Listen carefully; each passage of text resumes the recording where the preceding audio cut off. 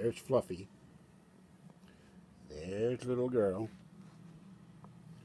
There's my bed light. There's Fuzzy. Fuzzy.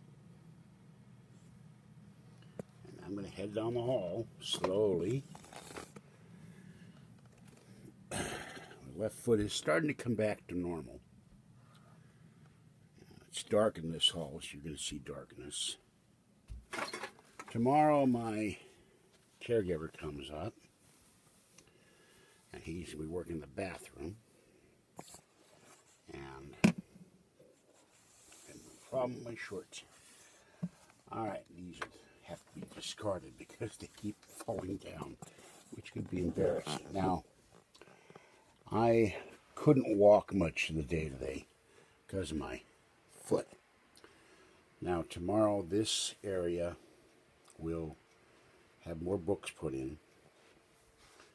And I'm going to come around here. I have to finish picking stuff up. If I can keep from killing myself back here. Um,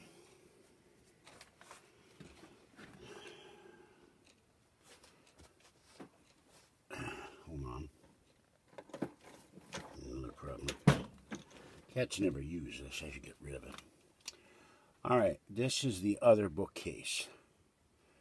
And there is a lamp back here under the giant Sylvester the cat. So what I'm thinking, I thought this bookcase was broken, and it's not. There's a lamp. I thought it was under the Sylvester. It has to be plugged in. I unplugged it because Fuzzy has a bad habit of going back here and shredding my books. And so I have to take the bottom shelf and not have books on it. So I thought I could take this bookshelf and get rid of it, but maybe instead, with some help, I can take the books out, move it back to where the Sylvester is, and then pull this bookshelf here. I'm sorry there's no light here pull this bookshelf back about maybe two feet, except that that one's there taking up space. So I don't know what I'm going to do. I was hoping I'd have some room to pull this back about a foot or two, and you can see the evidence of the fuzzy shredding my papers and down the floor. And uh, those are all my Star Trek books. So when I get the lamp set back up in here so that Fuzzy doesn't chew on the cord, that's my big fear. I'll lose her. She'll play with the cord, bite into it, and be electrocuted. And I don't know what I'm going to do with this bookcase, but um, it may well be that I should, let's see if I can get this a little clearer here. Um,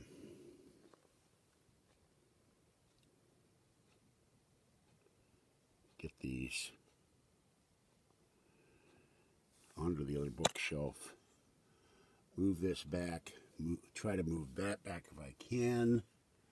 Maybe I can move it back. Even a foot would be a help to make some room in here. So I will do that tomorrow with help and continue working in this room and uh, maybe do some vacuuming. And I will believe it when I see it. Auburn is supposed to come here on Thursday, which will be nice if he does, but last time he didn't show. So that's what's happening there. And I did do one thing. Sit down. Uh, I took some Elmer's glue. Next month I will get a wooden saw and saw that shelf part off and I glued and taped this shelf down. That way at least the shelf doesn't keep falling off.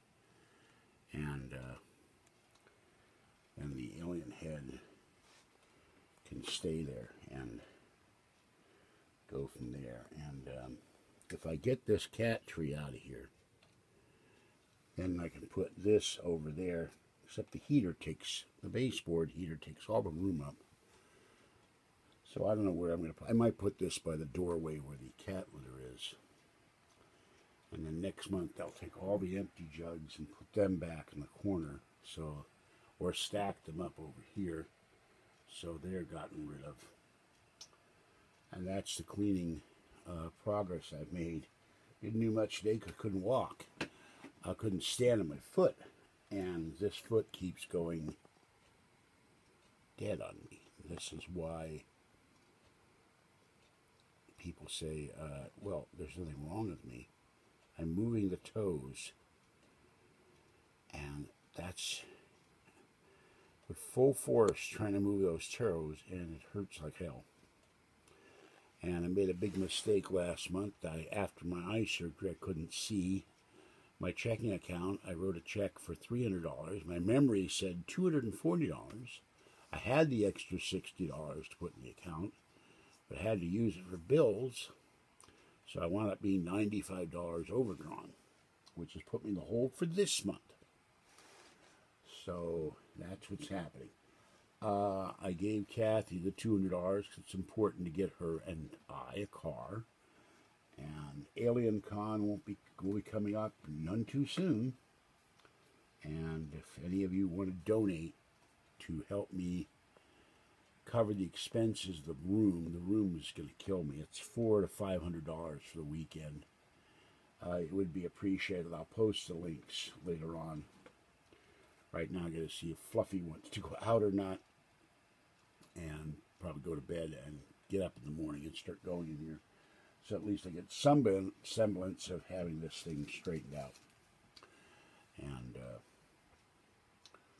uh, uh, it would be nice one day to get rid of milk crates and just have a bookcase and get the stuff off the floor and clothes that are sitting here and I don't know what else, a pair of pants that's sitting here waiting for me to go out with Kathy. We never we went out, but not where we wanted.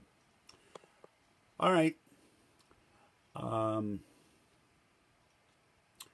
so it's gonna. I'm I'm okay on food to eat. I'm okay on cat litter. I'm okay on dry food. My Chewy order is coming in tomorrow.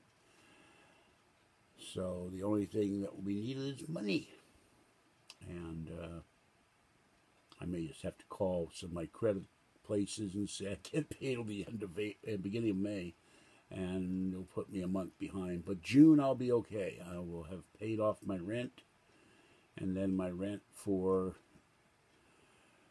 uh, the rest of the rent money in June and the car fund money, that's really what's been killing me. When I give her $200 at least with no cushion in case of emergencies, that will go toward the hotel room. And I'm never going to go to another convention unless I manage to save up four or five hundred dollars at least. The other thing is that um, I talked to the real estate agent today, and I didn't realize the time. It, well, one clock, this is odd. One clock says it's 4 a.m., one clock says it's quarter to 2, so I don't know which one to believe. But uh, look at that. There's the golf clock. It says 4 a.m. And there's that clock, and it says quarter to 2. So I don't know what time it is right now. But in any event, I talked to the agent yesterday. Let me rephrase that. He said there is a likelihood that the uh, land I want to buy will be available next year. And that would take uh, 500 down and 200 a month. And Abram has expressed a desire to move on to land. And he, once he learns welding, learns how to drive, he could be out there, build his own container house, and I can build mine. And I don't know about six week tenure if he's really homeless or not but and I found a way to make extra income once I buy the first land, then I buy a second parcel, and uh, I can make income that. But I could theoretically make income on the first parcel if the part of the land is able to grow either crops or cattle or sheep or horse fodder. I could sell some of that maybe, or rent the land out for grazing. So uh, if I could do that to the tune of even fifty dollars a month, that would go a long way toward paying the monthly bill on the land. Forty acres is a lot of land, and the agent I talked to says it is buildable. There's no flooding issues, so uh, I should be okay. Um, and I'm still looking for the right kind of container house. Now I know I've got this email. I've got to wade through all my emails. Company in China will ship me a fully built container, bathroom, living room, kitchen, bedroom, for three thousand dollars. Another so many thousand to ship it, and then put it in place. And that would be the first part of my house. Then I have to put solar in, air conditioning, all of that the first thing I build when I build the land, though, I have a kind of a carport thing. I'll set that up. I got that for free. And then I will build a fire pit. And then um, start looking around for somewhere to actually live in. And um, put solar in, dig the well, talked to the agent about incinerating toilets. He said Nevada is not up to speed on that. They're still in the past. And he talked to them about 10 years ago, and they didn't want to do anything about the requirement you have a septic tank with a, not tank, tank with the incinerating toilet. You don't need a septic tank. It destroys everything and turns it into either steam or ashes. So we will see what's happening with there. And there's that fan in the bathroom I put, I had, couldn't fit, it clips onto stuff. It's very bulky, but it uh, cools the bathroom off. So, but it's not enough to cool all the steam in that bathroom. When I move and build my house, it's going to have a window in the bathroom, so let the steam out. All right, this is George Senda, the guy from Pittsburgh. Have a great uh, day. Stay warm, dry, or cool, and stay safe out there wherever you happen to be, whatever time it is. Have a great day. Bye bye for now.